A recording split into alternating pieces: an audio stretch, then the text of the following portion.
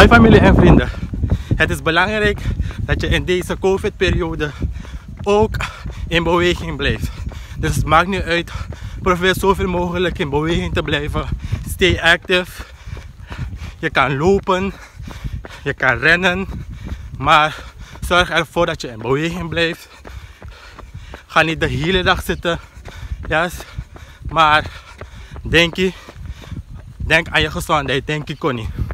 Yes, kijk. Vandaag heb ik uh, eh, 5 kilometer afgerond.